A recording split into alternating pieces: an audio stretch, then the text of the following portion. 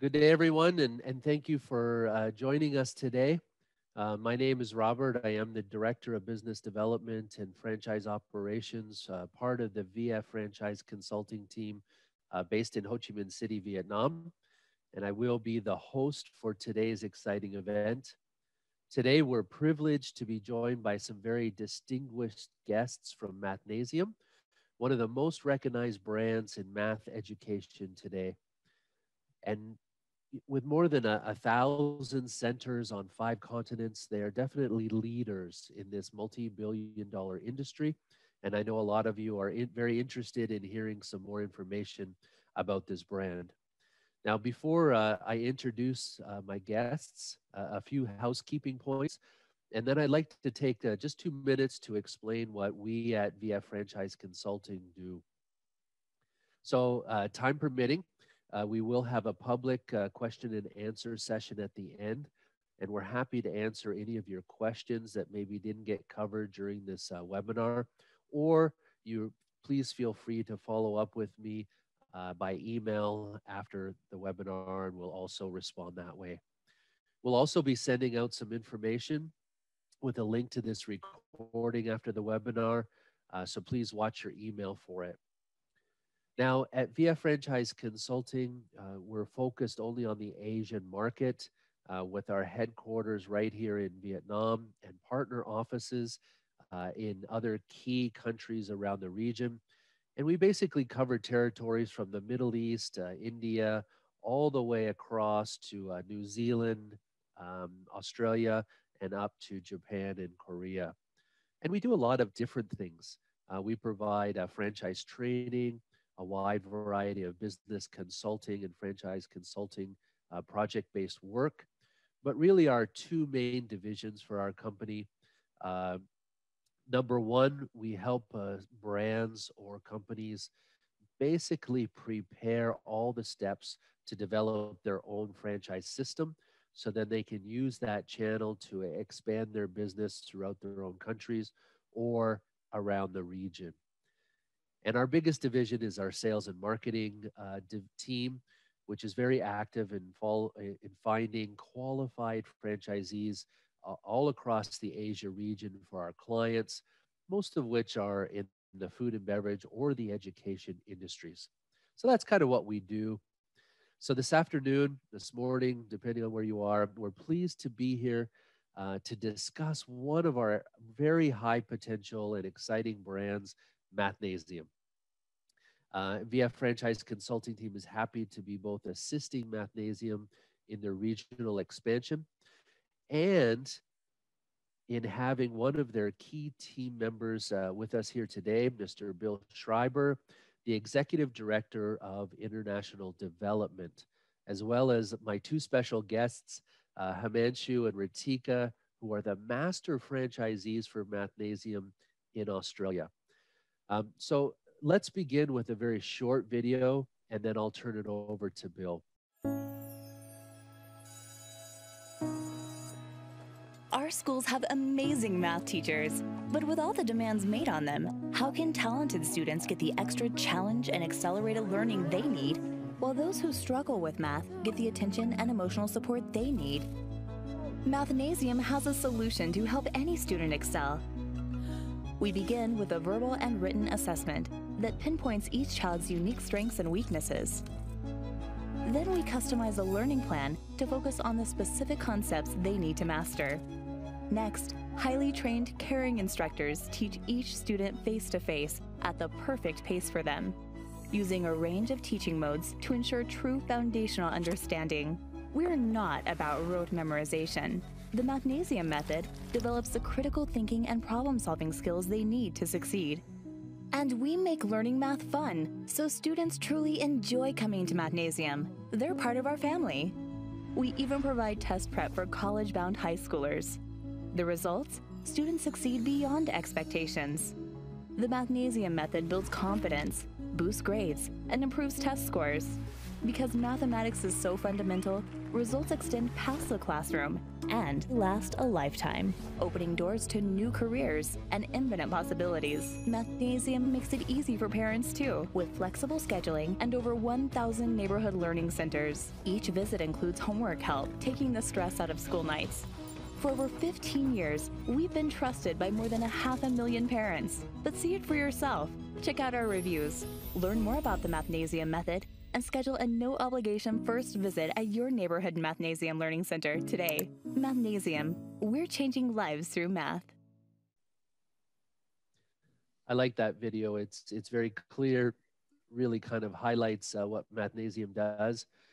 Uh, but without further delay, let me introduce to everybody Mr. Bill Schreiber, uh, who's joining us from the U.S. So good evening, Bill. Um, Bill is the Executive Director of International Development for Mathnasium, and I'll turn it over to you.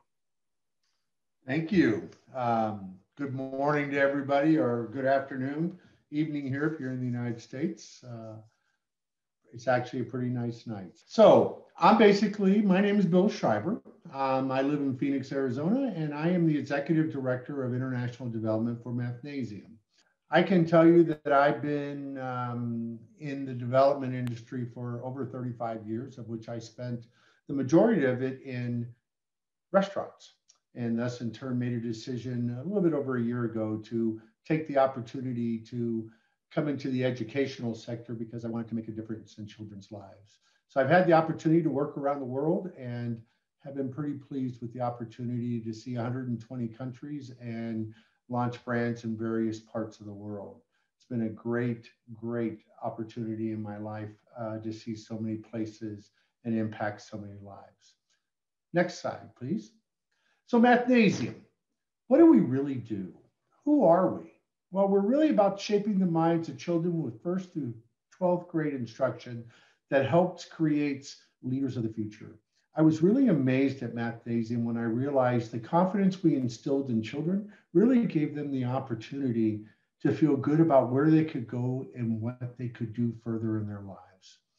At Mathnasium, we help kids understand math by teaching a way that actually makes sense to them.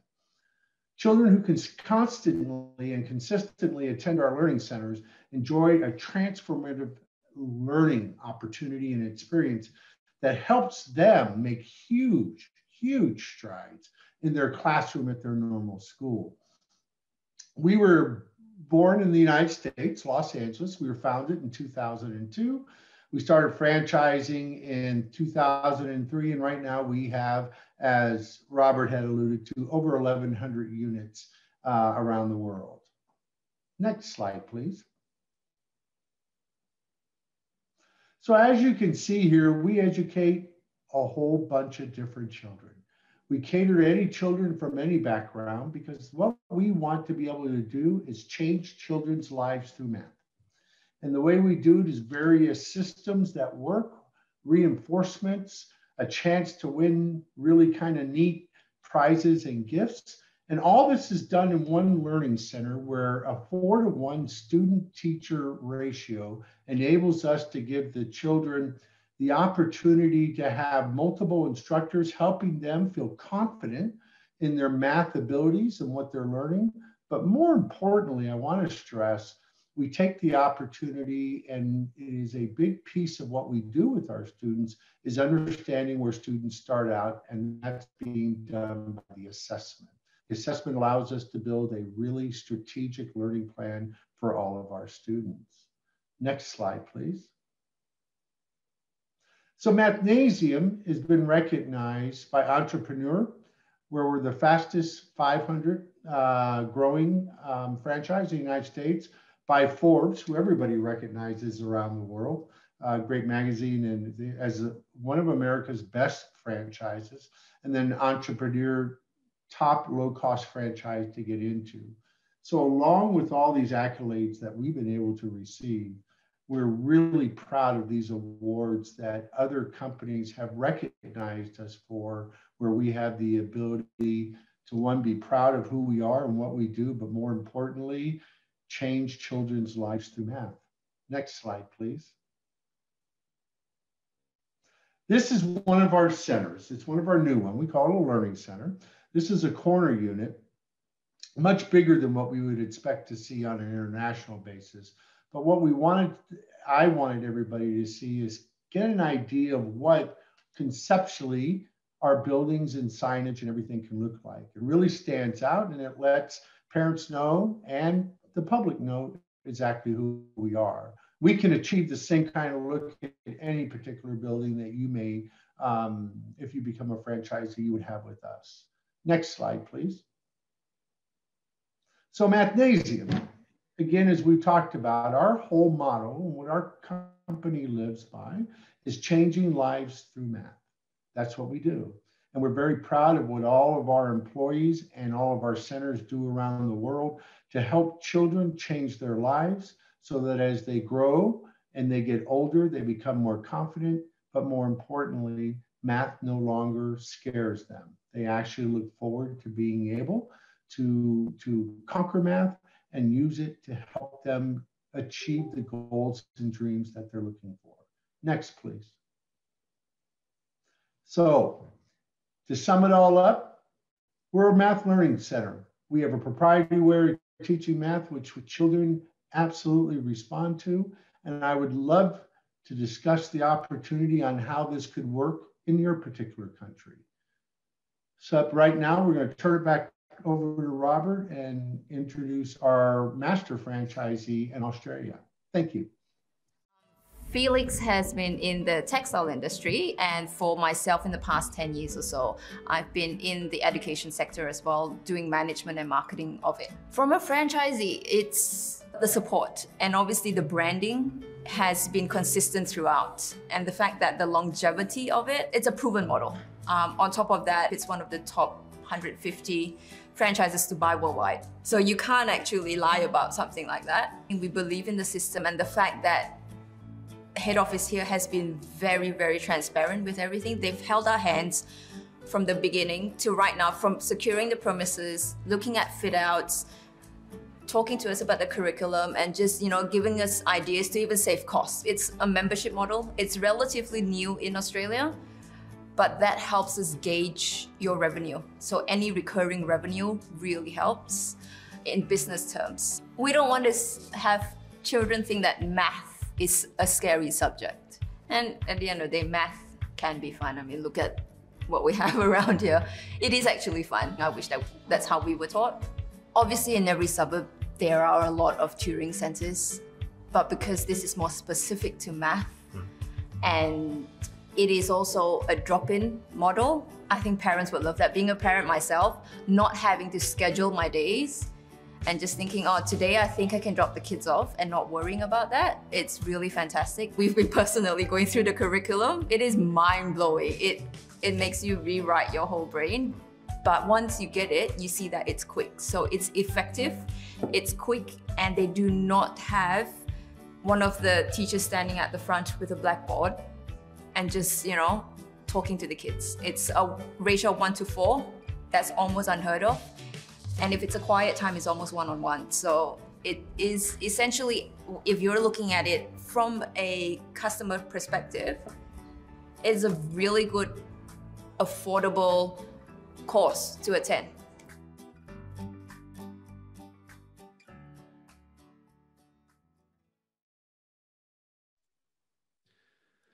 I also like that video. So as um, I mentioned earlier, uh, we're pleased to welcome uh, two of our master franchisees for Mathnasium. Um, that is, that video was talking a little bit about it, things from a different perspective, uh, from that of a franchisee instead of uh, from a franchisor. So now I'm pleased to introduce to you Mr. Himanshu and Ms. Ratika, the master franchisees from Australia. Uh, hand it over to you guys. Hi, Robert. Thank you so much. Um, hi, everyone. Good afternoon, good morning, good evening, depending on where you are. I'm here, Himanshu Gupta, and with me is my partner and wife, Ritika. We both are master franchisers for Mathnasium Australia.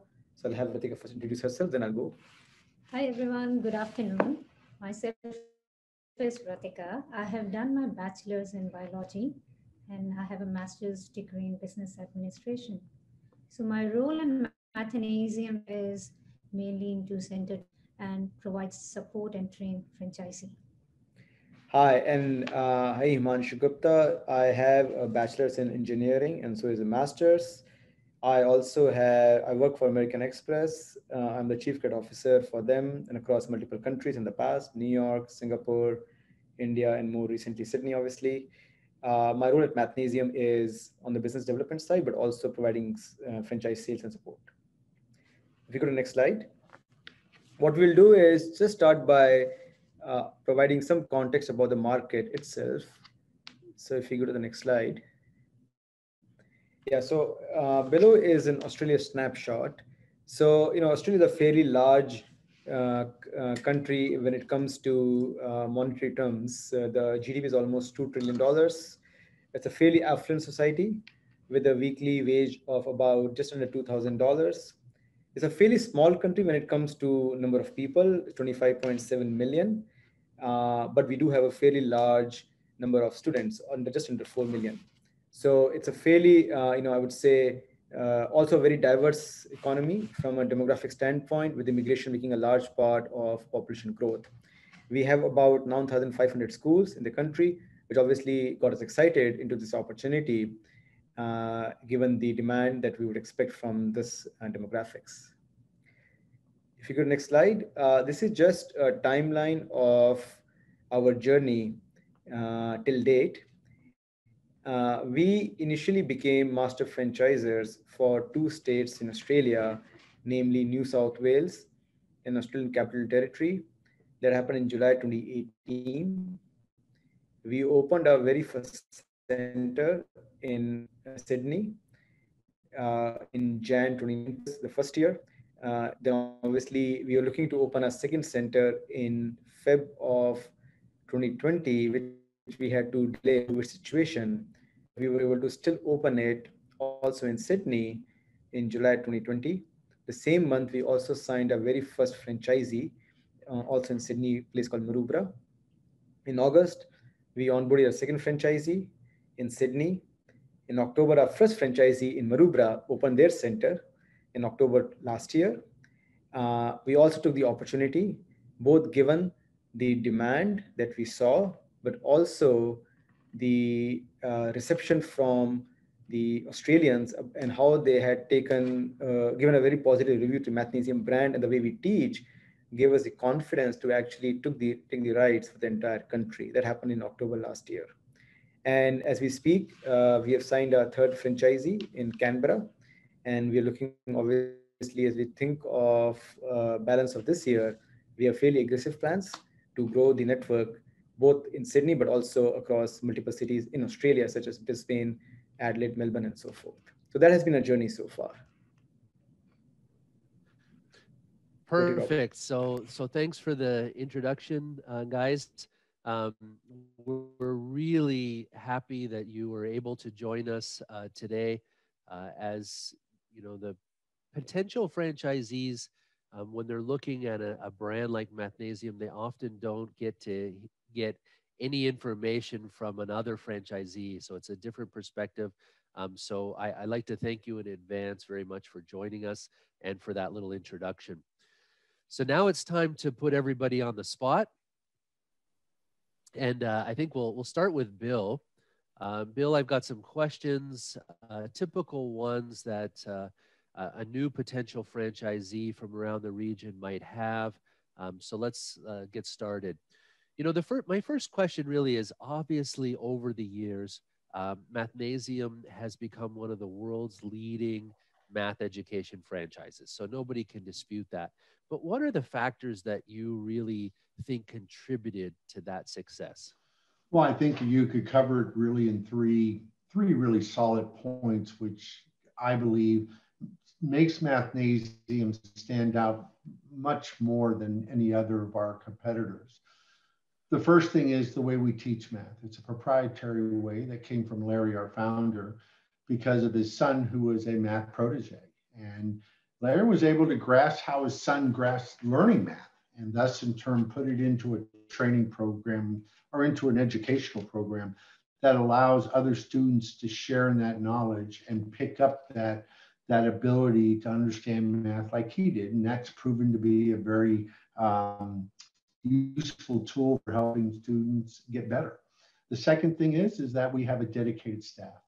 Um, all of us in, in the company, regardless of where we reside in the world, have a deep, deep, um, um, how should I put this? We have a very deep, one, understanding of our product, but two, passion for teaching children.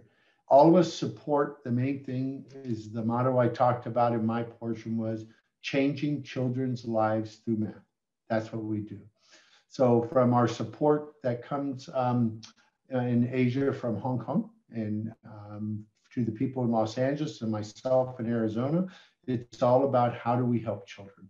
And the third one is a leadership team that is devoted to supporting all of us being able to do what we need to do to help children. But more importantly, too, is in Himanshu, who's in Australia, what he does helps build our brand worldwide because people see the results of somebody who is a master franchisee and that the program does work when you use all the tools, you put everything in place, and it happens.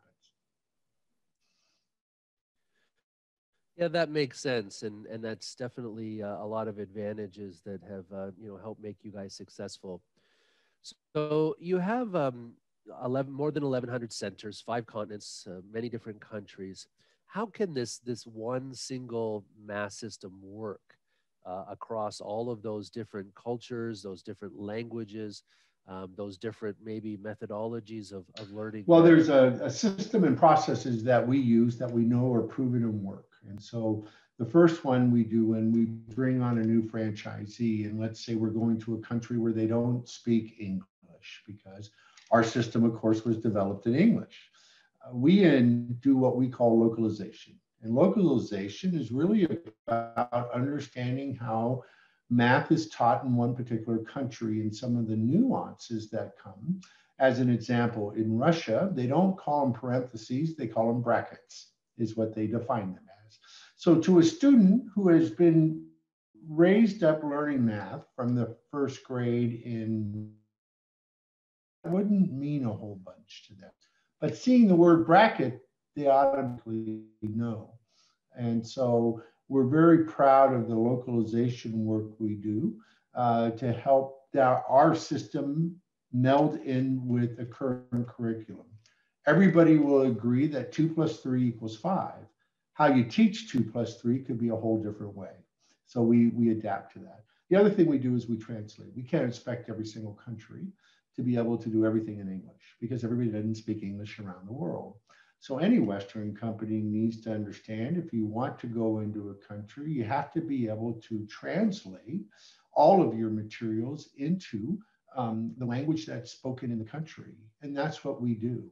It's a very long process, by the way. It's not as simple as people may think because it's 40,000 pages of materials plus pictures and everything that has to meld together. So we're very proud when it's done, what it looks like and what can happen. But as an example, we've already translated languages. One of them is Chinese, uh, that we have the ability to teach Mathnasium in Chinese in China. So we're pretty excited about the opportunities as more countries. And then the last thing really is the people who do the training work that make us successful. When I look at our international team of Chris and Alex, who you know, are out there every day working with our franchisees, working with our master franchisees, and helping them figure out all the things as a collaborative team on how to be successful. And that's the important part because we truly are all in this together. So those would be the three things that I would contribute to our success. Oh, good. And and that's um, you know individual country customization I think makes sense. Right. Uh, you know, giving the variety of cultures uh, across our region. Uh, you know, another thing that I noticed right away when I looked at the Mathnasium concept is I, I just love your mission statement. You know, teach children math so they understand it, master it, and love it. You know, math was actually my best subject, but I, you know, I can't say I ever mastered it or loved it. Um, how does how do you fulfill a mission statement like that? by the program and how we teach math. So math it can be to some of you, if you're one of the lucky students who you pick up math and you're good at it, it's great. Math is never a problem for you. You're never scared of it. But for some students, math can be quite intimidating. And, and as their peers begin to, to start to fall uh, uh, behind. And thus in turn become isolated. They feel you know oh boy i'm stupid you know i'm not good enough. But that's not the case at all. Some students just require a little more work and a little more understanding. So for us helping them use this proprietary program which really teaches math a way that is amazing because i sure didn't know about it until i went through the our training and saw, wow, that makes a lot of sense. Um, I never learned that in the third grade or the fourth grade, right? We everything all way. Um, what it does is as the students are one given the opportunity to understand where they're at and have a program and a path to help them become better which is really important through our initial assessment the second part is is as they're beginning to master this and they're beginning to understand it it's not about testing so they can regurgitate information to be able to be successful. It actually becomes part of what they do. But we also reward them with little prizes and everything that continue to reinforce that math is not something to be afraid of. It actually is something that can help them. And then once as their confidence begins to get stronger and stronger, you find less and less they're afraid of new things to go learn math. And that's what I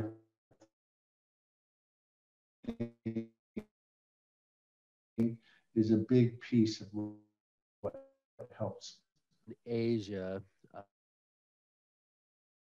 uh, as mentioned before, you're looking for master franchisees, similar to Himanshu Ritika. Mm-hmm. So, what exactly? It gives the opportunity for the person who takes the country to one, operate centers, right? And, and operate their own and have the ability to teach and educate new franchisees, but then also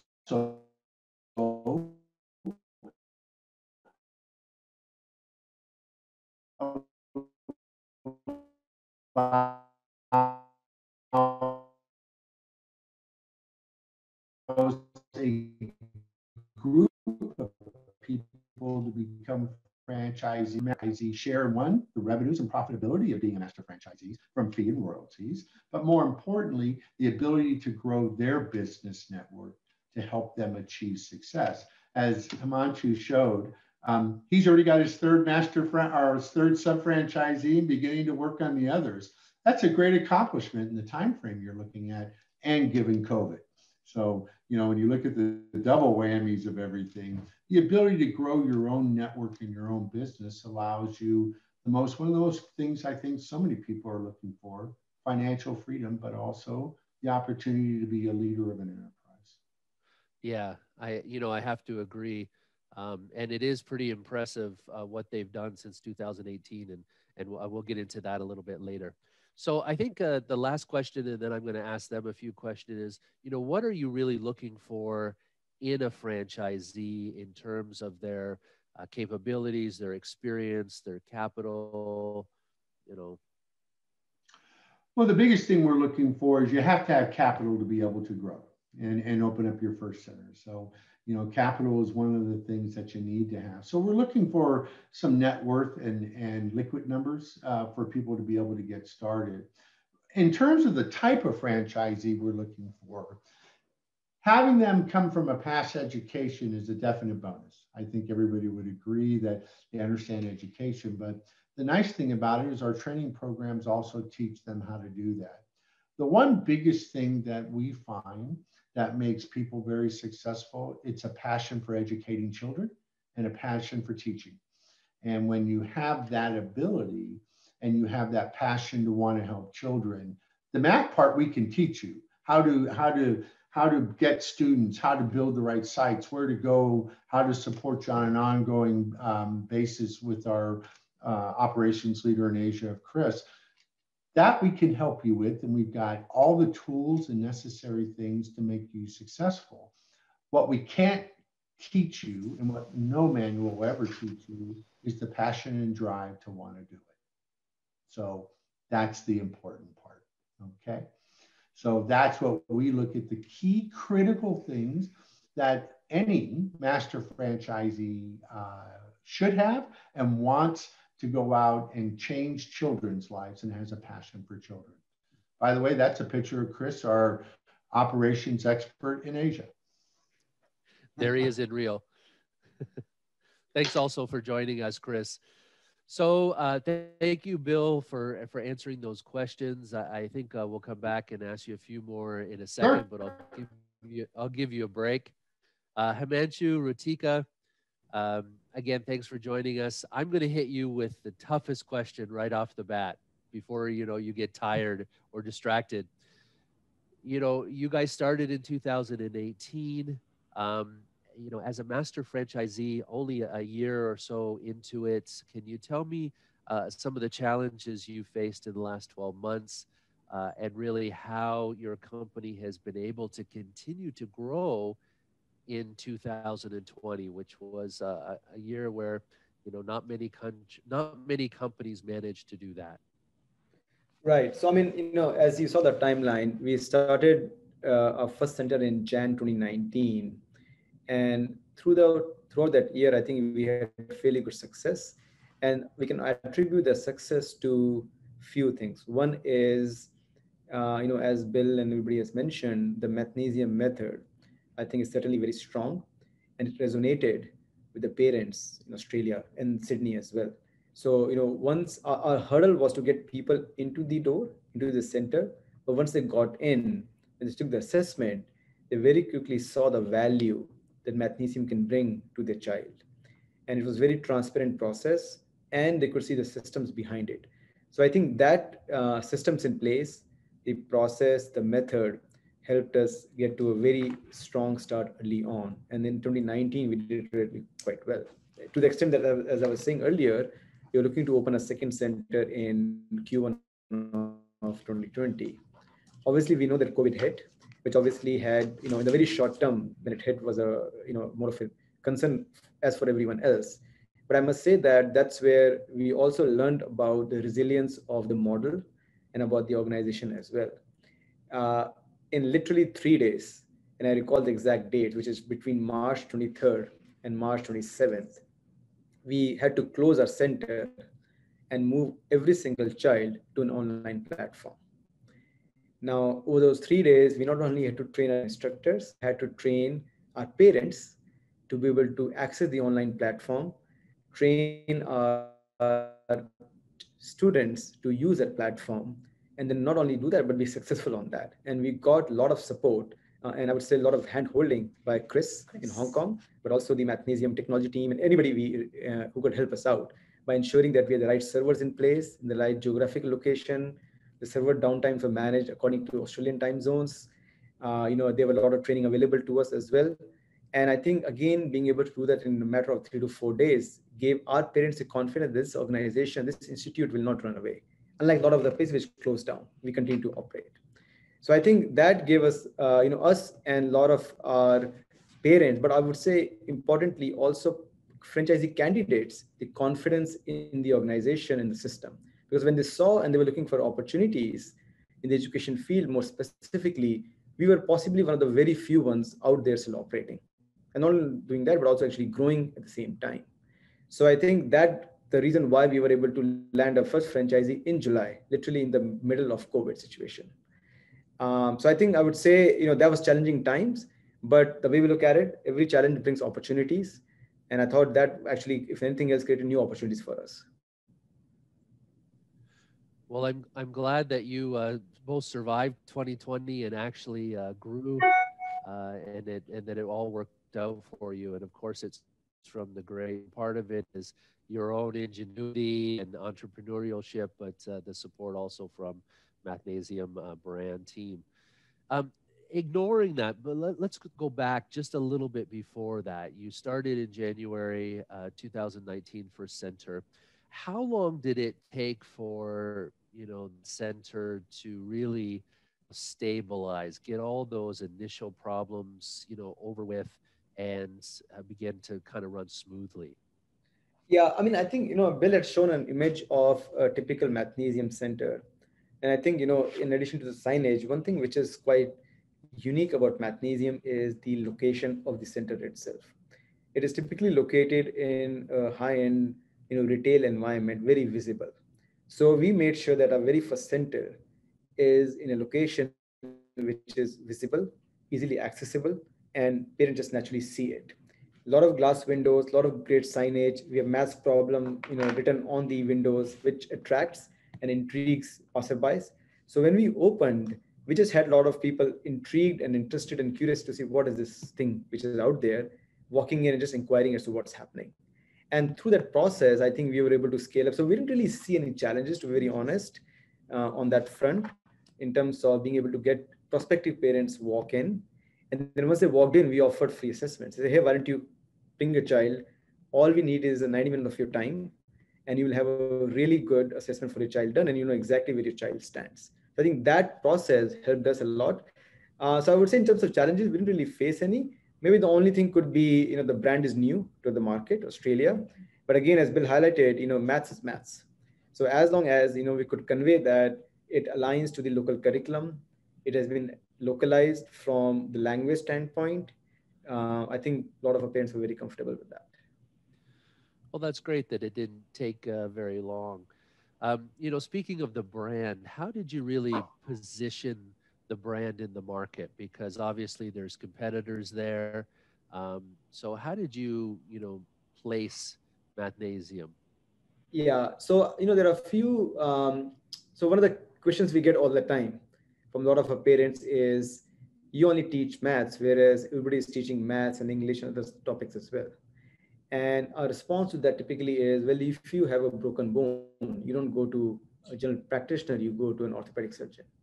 So what we say is that, you know, we are a maths expert and what we are catering to is the maths need of your child. And I think increasingly everybody understands the value of maths as a topic in the context of the subjects. So what they realize is, and increasingly we are finding that parents understand that if a child is not confident in maths, the lack of confidence percolates into other subjects as well. So I think that part we emphasize very heavily on. Second is, uh, you know, again, I think the assessment process is very robust. When the assessment is done and the results are out, uh, a lot of parents actually, this is the first time they realize their child's strength and weaknesses. They may be aware of that, but has never been quantified for them in this manner. That I think resonates with them really well as well. So I think, you know, combination of these things is what helped us differentiate. Also, I would say is, um, you know, we have a flexible drop-in model, which a lot of parents love because they don't have to make sure they get their child at 4 p.m. when they're rushing in traffic. They can come at 4.15, they can come at 3.15, whatever works for them, um, which actually helps them arrange their time more effectively as well. Uh, we don't give homework, which a lot of parents love because the last thing they want to do is deal with the homework at home. We're saying we will take care of that. So I think, you know, a lot of attributes which, uh, which work with parents, especially parents who are working, um, but at the same time, uh, I think the other differentiating factor is a lot of time parents have to push their child into a tutoring institute. The environment which Mathnasium creates is of a pull environment, which is a child wants to go and they're pulling their parents into it, which is a massive win for the parent. Yeah, for sure that is. Um, you know, I, I think uh, Mathnasium has a lot of unique advantages over its competitors, um, and you've highlighted some of those. Um, but look, looking at it from a, a parent's perspective now, let's let, let's look at our consumer, which is really the parents. You know, who who should study math, and and why should they send their children to Mathnasium, you know, as opposed to somewhere else? I, I think everybody needs to study maths in today's life, right? Um, the way, uh, I mean, maths has always been a critical subject I think it has become, and actually we think, and uh, is that it become even more important, specifically the way the technology being developed, the skill sets required in the future, uh, and the demand that our kids will face over the next several years and decades. So I think, you know, uh, in terms of the market, it's every single child out there, right? Has to have basic skills in maths to the extent, right? And what we find is, uh, you know, a lot of uh, children actually quite behind. Often they're not aware of that, and neither are parents aware of it. A lot of parents also lack the ability uh, to able to teach their child, not necessarily because they don't know maths, but because the, the way they were learned maths has evolved since then.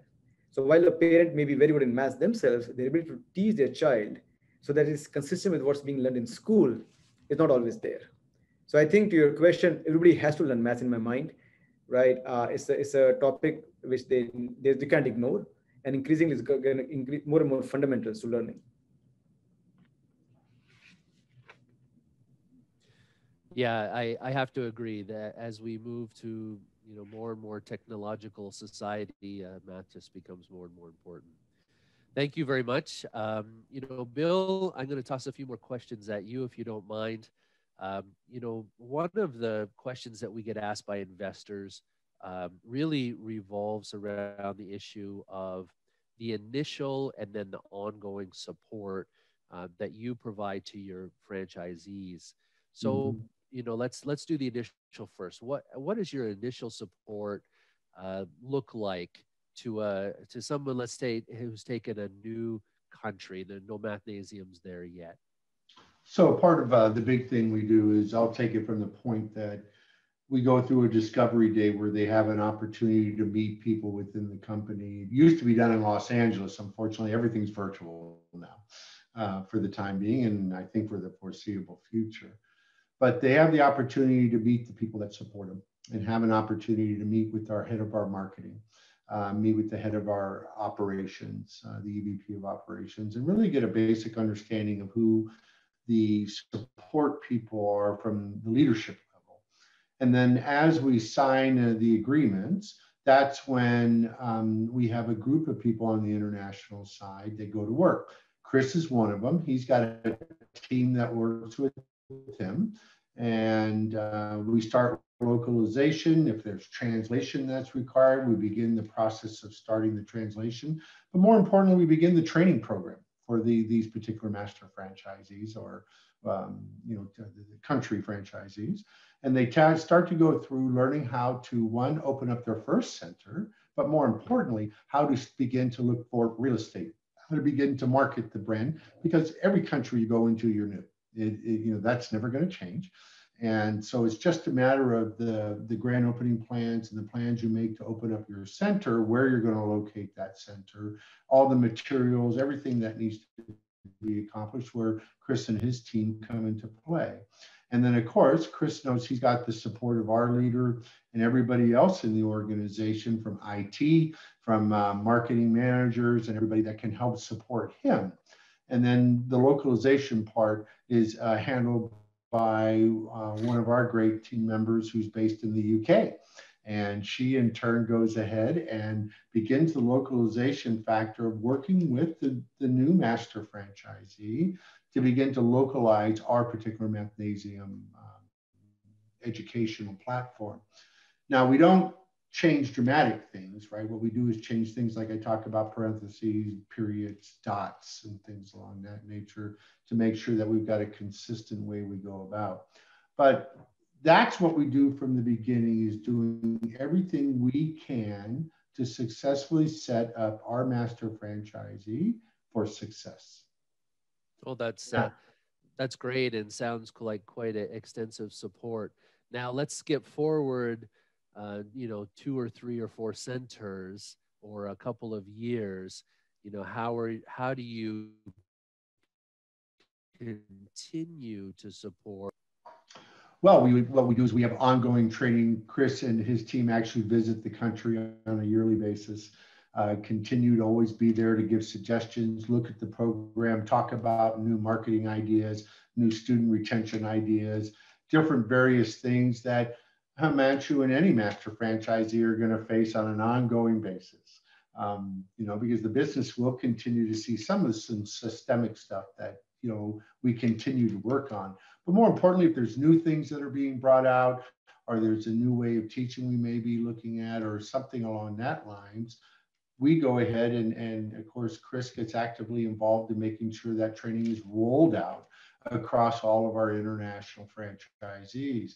Now, in the case of what Himanshu went through, and in three days being able to turn around a in classroom to a mathnasium at home or a virtual environment, took, you know, when you look at it, talking about support, the amount of work that people in Los Angeles, along with Chris and the team and the entire international, put into to make sure that people were down as little as amount as possible and had the opportunity to continue their enterprise and running it. So thus in turn, considering the fact of what COVID has done worldwide, um, you know, the ability to still be in business, which is unfortunately for a lot of businesses, they can't say that.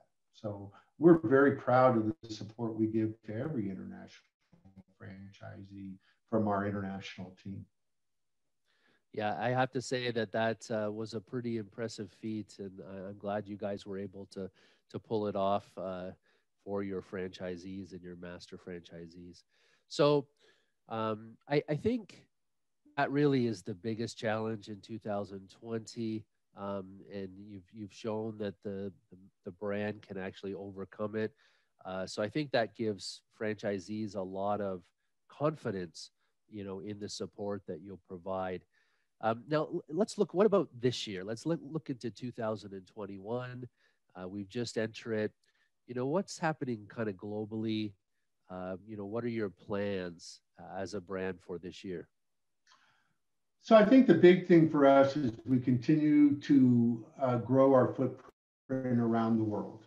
And we, that's what we're currently doing. So we're currently in discussion with the some uh, countries that are strategically placed different places in the world and hopefully being able to bring them into the Mathnasium family and help them get the benefit in, um, of, of our great programs and our, and our proprietary way of teaching children so that we can begin to impact children's lives in different countries around the world.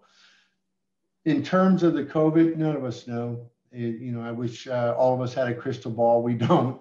So right now, we're really measured on is what we hope is that each country, I think, is taking uh, aggressive steps to try and address individual COVID issues. But I, you know, will we still be facing COVID in 2021? Yes, I, I, I believe we will. And I think it'll go on at least through the third quarter. However, we are seeing progress. We are seeing changes. We are seeing things starting to improve in most countries in the world. And what we continue to do is to be able to be one, adaptive, but two, have the ability to what I call move to the right or move to the left when necessary so that we can continue to one, support our existing franchisees, which is very important, but more importantly, making sure that any new master franchisee we bring on board has the same ability to be able to move to the right and move to the left when warranted and we're very proud of the progress we've made in doing that. So um, we'll in, we I would like to be able to and think we can increase our footprint around the world by six additional countries this year. We're really excited about that. And and we hope to be able to help you do that. So maybe some people on this call will will be part of that expansion. We would love it. Um, any interesting news recently that uh, you have that maybe you could share about uh, anything in the last six months to a year? Well, um, we do have Singapore is uh, coming online here. Um, I think will happen. Chris, just give me a thumbs up or thing. April, right? April. So Singapore will open up in April. We continue to grow in the UK. Of course, Himanshu is off to great, great strides and steps, and um, we've been able to, um, you know, help him wherever we can, and um, we're really excited about that. And then the other exciting news is that uh, we have a new CEO who uh, used to be our COO, and our um, old CEO actually is part of the board now. So we've established um, uh, the right leadership in place, and but more importantly, the right support mechanisms in place that'll allow the company to continue to prosper and grow for the foreseeable future. No, that sounds uh, that sounds great. So, uh, last question any final thoughts um, you might want to share with our viewers um, any advice to to somebody who's listening who might be considering you know the mathnasium uh, brand for their country or territory? Sure. I think if i wanted to impress anything on everybody who's listening and, and is considering mathnasium you know i would ask you to to put this into your thought and and decision process. One you're going with the company that has world global experience, but more importantly, over a thousand centers. So we know how to go about growing the business. We know how to support our franchisees, which is very critical because not all brands can say that. Secondarily, the ability to one, have the exclusive development rights as a master franchisees for a country um, is not something granted very often especially from Western brands. That's not a typical maneuver. But more importantly, get all the training, support, leadership, and uh, the ability to have programs that help you be successful. And again, as you become more successful, uh, that allows us to also be successful. And we're very big in our company about being into win win. And then the last thing for me is um, understand that our mission is to really change children's lives through math. And I would love to have people who have that passion and want uh, to come and uh, absolutely ask any questions, learn about us, because I think you will find you know, not only make a difference in children's lives, it could also make a big change in your life. I, I no, I agree. Thanks. Sorry, I, am having trouble with my mic. Um, so thanks, uh, thanks, Bill, um, and uh, thanks as well for joining us. Uh, you know, in the PM over there in the U.S. Uh, Himanshu, uh, Ritika, a couple last questions for you guys. You know, I, I asked uh, Bill. So from a franchisor perspective, we got the answer. But uh, how did you view the franchise support that they gave you? Uh, let's start at the very beginning. When you when you first started this process, um, anything you can share with us about your feelings or or what really happened? Yeah. So you know, um, this is my background, and Ritika as well has done briefly. We have had a lot of exposure to very large corporates, right? So the benefit of a large corporate is they have very well defined systems and processes but the downside of a large corporate could be the inbuilt hierarchy and bureaucracies, right? So when we started engaging with Mathnasium, what we found was a fairly uh, interesting and uh, I would say a balanced approach whereby the systems and processes were very well defined, which are the typical what you see in large organization, which I think gave us a lot of comfort that again, there are systems in place, processes in place, Chris in Hong Kong out there and his team over there so that we won't be left alone. There'll be somebody behind us helping us out.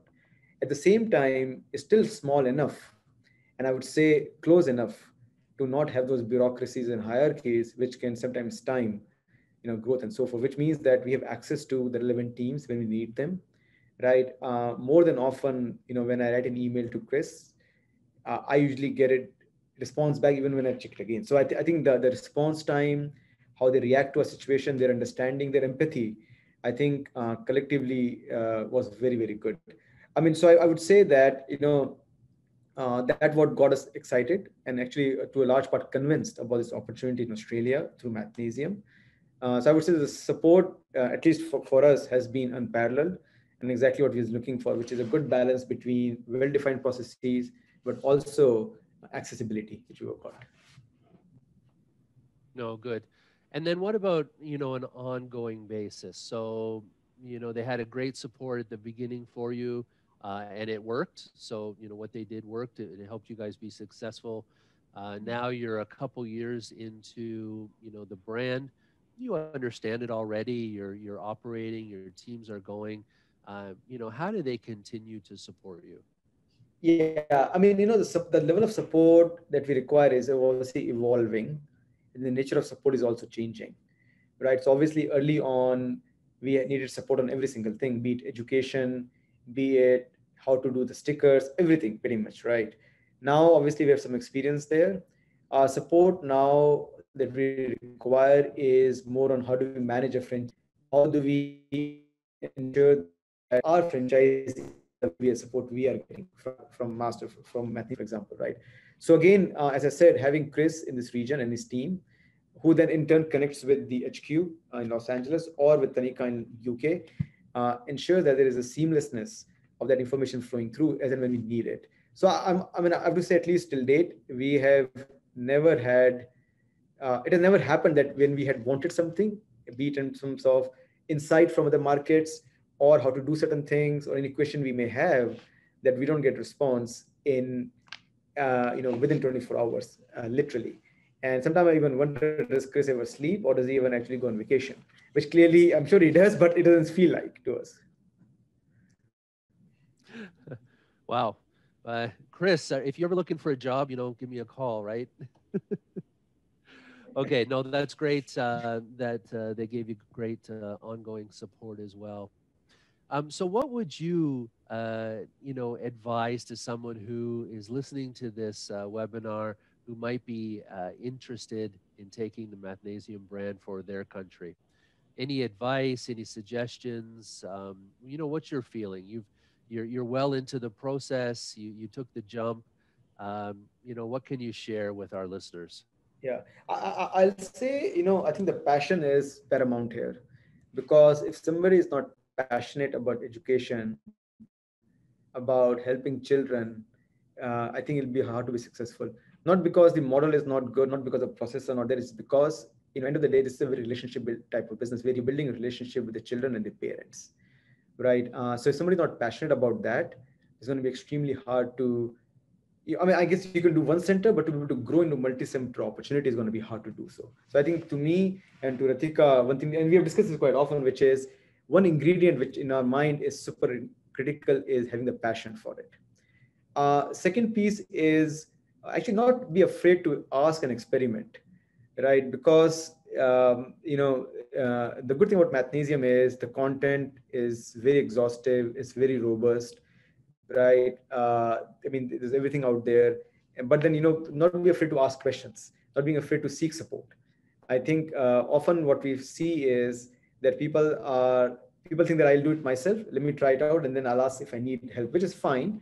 But often, you know, because Mathnasium has so much experience in running, uh, you know, thousand percent they have pretty much seen every single scenario, right? So it has always happened that if we come across any issue or anything, they always have seen. If Chris may not have seen this, somebody in HQ has seen it in some form. So you know, while we're trying to figure out in parallel, we always make sure that we go and ask them and say, "Have you guys come across this? And if so, what did you learn and what was your insight?" So us, you know, being able to ask that question and never be afraid to do so, not be shy about it. I think I would say the second thing. Uh, the third thing is, uh, you know, really trust the brand right? Initially, what happens is when you're opening a new country, there is a feeling that oh, this country operates in this particular manner, maths is different or it's taught differently, you know, how come this US model work here and so forth. We had the same apprehensions early on, right? But end of the day, what we realize is maths is maths, you know, children are children, parents are parents, right? As long as the localization is done, system works, right? So there is issue that happens, but trust in it, uh, I think is, is our learning as well. Yeah, I think uh, that's a challenge. We've been franchising a lot of different brands for a lot of time, and all, all always the franchisee thinks or or whatever, and it is unique. I mean, everywhere is unique, but you're right. Math is math. When it foundationally, children are children, parents are parents. So, you know, 20 countries or whatever, and 1,100 centers, and it worked in Australia. So I know it will also work in, in Vietnam and Thailand and Indonesia, Philippines, um, in, in, a lot of the countries that we have viewers or listeners uh, on this call. So thank you. Any either one of you want to say to conclude? No, I mean, I would say that I think it's a great opportunity. The very fact, you know, we started with two states uh, but now we've taken the entire country. I think it's a testimony to the fact that we trust the brand, we uh, believe in the demand and the opportunity and success. I think this, this can have. I mean, pandemic COVID, what we've gone through has shown that two industries which have continued to do well, medicine and education, right? So to us, this is from a commercial standpoint, I think I think this is a we think it's a no-brainer. Uh, if you're passionate about it, it's a no-brainer. Math, uh, you know, as a topic, it's, it's I think it's going to continue to be in a lot of demand. So I would say that you know if you're passionate, definitely give it a shot. Great, thanks, um, and thanks uh, as well for joining us. Um, I think we'll take uh, we'll end our prepared questions there. Uh, we'll take a one minute break and, and watch our final video. Critical care especially has to do with physics, chemistry, and that's all math related.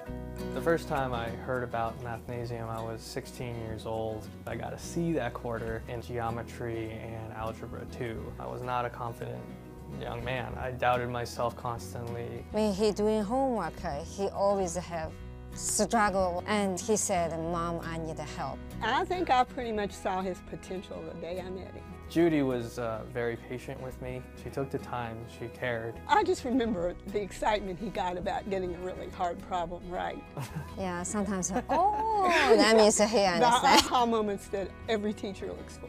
Mathnasium helped me get the grades that I needed, A's in both geometry and algebra 2. It gave me the confidence to go as far as I could go. Now he looks at the future as full of hope and good things. Going to Mathnasium gave me a drive to do better. It continues to do that today as I save lives.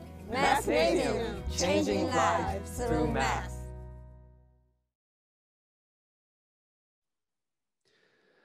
So that's a that's a nice uh, experience. Um, we we've got some questions, and I think we've got a yeah. We'll take a, maybe another five or ten minutes, and then we'll conclude. Um, I think a couple questions that we have uh, are for Bill.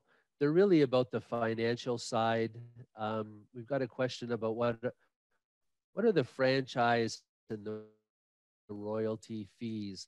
Now, obviously, this is going to vary a lot by uh, you know country and territory, but you know what can you tell uh, people in general about the you know fee structure?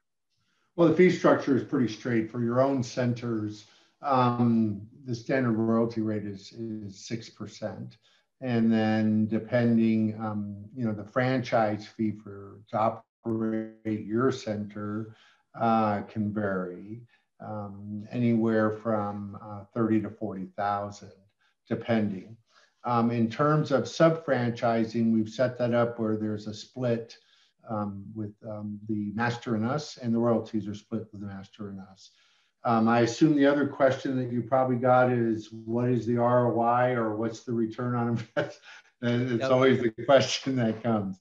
that is going to vary by company because the one thing we can't control is rent. And as we know in, in, in a lot of countries, rent um, is very expensive. So what we do provide to you is the opportunity to do a pro forma. And through our conversation and approval process, there actually is one part where we go through one methodology and, and the opportunity to learn about what Mathnasium is. And then we also go through numbers. And we're happy to take you through those at that particular point. Uh, signed and my lawyer would kill me if I was started revealing certain numbers. So by all means, we want we will share them at the appropriate time. But then we also allow you to build a pro forma to see how it does for you personally in your particular country, because every country in that regard is uniquely different because real estate in Japan is significantly more expensive than it is, let's say, in um, Malaysia. So um, at that you know point, we'll work you through it. But again, Chris has got great skills in this to be able to you know help you with that. And of course, I can do the same, and and our leader Jennifer can do the same also. So um, we're more than happy to help um, everybody understand how the enterprise makes numbers um, and makes uh, profitability. What I can say, coming from my past and in the years I spent in the food industry, restaurants would kill to have the margins we have. Yeah, that's that's for sure. And and just to be clear, uh, you were talking about return on investment and projections. The you guys will walk the and, and assist any potential franchisee to come up with their own numbers prior to them making a, an actual commitment Absolutely. Invest in the brand. Okay. Absolutely. So, yeah. So I, I think that's uh, kind of covers that one. What about center costs? Um, you know, what did what does it cost to build a traditional center? Maybe that that very first one, which we know needs to be at least a medium or high profile location. What what kind of ranges do you see? I can speak in general, but I'm going to refer right now to Ritika because she's opened up centers in Australia. And so, Ritika, if you got an opportunity and talk about what it took for you to open up your first center in Australia, that would be great if you guys don't mind. Yeah, I mean, I, I can talk to the numbers there. Um, okay, great. Yeah, so you know, again, I think as you mentioned, rent is a big factor there. But in terms of the center itself, it's a fairly, you know, Mathnasium centers are fairly low cost built out because we don't use any technology. We largely use paper pencil for teaching. Uh, oh, okay. So, uh, and also all, all of our, our equipment is IKEA from a furniture standpoint. There's a global standard. Great, isn't it? right. So to, to fit out a particular location, uh, I think at least in Australia, I can talk about it. It ranges from, uh, you know, about 25,000 USD to 50,000 USD. That's the range we are seeing. Uh, really, uh, the driving factor between that range is really building a toilet uh, effectively. Right. When you built one, otherwise, uh, you know, it's a fairly simple fit out, carpet tiles, paint, some lighting. that's about it. Yeah, and I'll add to that. So the reason why is because you've actually built them, right? And I've got examples spread across five continents and in the U.S. So the build out for us is is is Himanshu. One of the things we get our furniture from IKEA which is a very one durable furniture because you need that when you're dealing with children um, because they they they can be rough on equipment.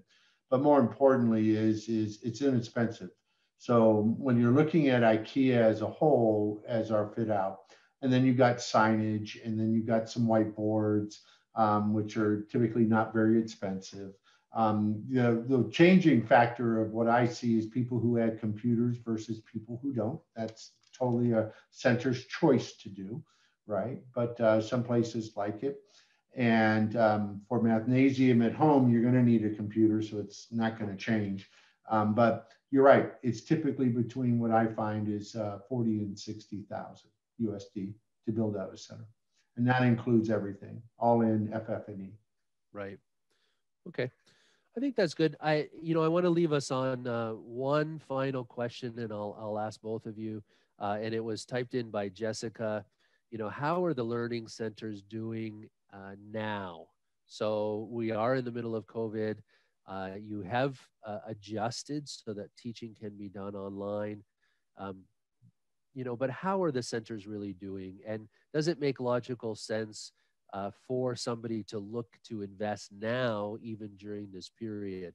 Um, Bill, maybe you first, and and then I'll I'll hit. You know what? I'm going to let Himanshu uh, open answer okay. this question first, and then I'll I'll, I'll end up. Himanshu. Yeah, sure. Um, so I think as I referenced earlier, we have uh, three centers open in Australia now. Um, the first one, which opened in Jan 2019, it obviously had a bit of a dip in, um, I think from April through July last year about three, four months. And when I said dip is mainly because parents were a bit more cautious, uh, whereby they didn't want to send the child to the center, which we were also closed for two months. But also there was a lot of um, uh, fatigue of online learning in general because everybody was going online for schooling as well. So, so I think except for those three months, and then we started picking up back again from August last year. So right now, where we stand for that particular center, it's at, it's a stage which is higher than what we entered COVID with in terms of our revenue as well as number of kids. Our second center started in July last year, which is actually in the middle of COVID. And that has grown quite, actually, that has grown faster than what our first center grew in 2019. Wow. On, on basis, both from a revenue number of enrollment standpoint. And a third center, which opened in October last year, so again, been there for only three months. Uh, they are on the right trajectory as well as our second center. So um, I, I, think partly because also Australia has been a bit more insulated uh, you know, in terms of number of infections and so forth. So things have been largely open. That has helped us a lot. Uh, and I think people have been just uh, open to going out. So, but that said, you know, except for those three, four months, we have been largely able to manage quite effectively. That's that's amazing. So my hats off to you. Um, congratulations for managing that situation and continuing to to grow. It's very, I think, encouraging to hear that your center one, you know, has managed to go over pre-COVID numbers uh, already. So that's that's quite impressive. So good job, guys. Um, Bill, anything you can add to that? Well, I can give it from a, a little bit more of a global perspective. We've gone through gyrations of various degrees around the world. Uh, we have some countries that have been open and closed, I think, four or five times, and it's you know proven to be very challenging for us to be able to keep that consistently uh, consistent level um, for our students. But when I look at the biggest one, you know, and I look at what we can do, um, I look at you know what did happen in the United States. We went through the initial part, had to close down. Like Himanshu, we had to launch Mathnasium at home. and um, you know, did we have a drop off in students? Yeah, because parents were trying to figure out, you know, how do I do this now that I'm not working and I'm at home with my kids? How do we manage this? How do we do this? How do we make technology work? Because you know those kind of things all presented problems. But more importantly, as we, we began to work in the first three months of this, what we found is that our retention um, actually started to go up from the virtual standpoint. And at that particular piece, we were keeping students, um, at least online, not at 100%, because that was impossible in everywhere we do business around the world. However, what we did find is as centers began to reopen, students automatically clamored back to going back to centers. So what we find is that Mathnasium at home is a great supplemental tool to help educate learning is that parents um, still want their children to be in centers and being educated by teachers one-on-one. And, and they believe in that and we we want to be able to support that wherever we can.